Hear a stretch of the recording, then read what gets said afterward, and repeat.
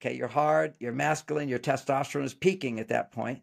And at the same time, you're making massive estrogen levels because you're feeling love for your partner. So that's what allows me to last. I can, you know, I playfully have given talks called the Iron Penis. Okay, so I, I have to tell you this joke just for fun. I was giving a biohacking conference and I just happened in my hotel, there were three uh, Iron Men so these three Iron Men and their wives, and so I was just sitting down. They didn't know me. I didn't know. We introduced, and finally, I was listening, learning about them as they told what all these great endurance things they can do. Then they asked me what I well, what do you what do you do, John? Well, I'm the Iron Penis. but but I've, I've tested it out. You know, if you practice my high level of enlightened sexuality, well, what am I? I I heard about a Taoist master who could do eight hours and and the woman is she's constantly producing enough hormones. So with my wife, I did ten hours, just to, my competitive nature, you know, just. And, this is this is having advanced skills. It starts with, and I, and I can give the first biohack. The first biohack be able to do something like that. Not that I do it all the time. I really did it like running a race. But uh, if you're doing it every day, you just don't have time in the day.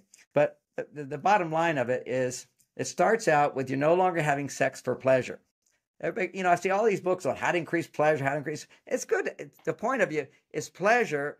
What is the point of pleasure? Like if I eat a bowl of ice cream, what's the point of that? It's just pleasure, right? And and then you get fat. All right. So, you know, we're above pleasure. You know, I give treats to my dog. It's pleasurable for her. We are beyond that. So we ask ourselves, well, why then do we want sex? It's always I ask why about everything. Why do I want sex if I'm not an animal and my, or if I don't want to make a baby? The reason I want to make sex, what I want to have sex is it's pleasurable. But what's the point of having the pleasure? I can have pleasure with ice cream. No, the pleasure is is allows a man to get in touch with his feelings. See, mm. the higher the testosterone levels are in a man, often the harder it is to fully feel what you feel. Because we have all that testosterone, testosterone, estrogen. They're like this. They go back and forth. What we're trying to do is get them both at the same time to go really high. And that would be like an example of both. I'm having a really fun time talking to you, Joel. And at the same time, I'm making points. I have a goal I want to achieve. I'm aware of the town. I want to make a difference. See, that's all of our goal setting, but also to be not stressed at all on the other side of it. That's the yin and the yang together. Right. So the purpose of sex is to to be to help use sex to help you get in touch with how much you love your partner. Now, this doesn't work if you're not with someone you love. This is not your one night stand. This is not this is not practicing Taoist sex with masturbation and some something online. You know, this is this is, you know, you want to rise above that. Um, I've been through all that. I'm a teenager. You know, it's part of my life. But you you kind of outgrow this stuff if you want to have the good stuff in life. And then when you retire, then it's even fantastic because you have hours you can spend making love. It's a fun thing to do but you have to you have to start prioritize this is my time to express how i feel.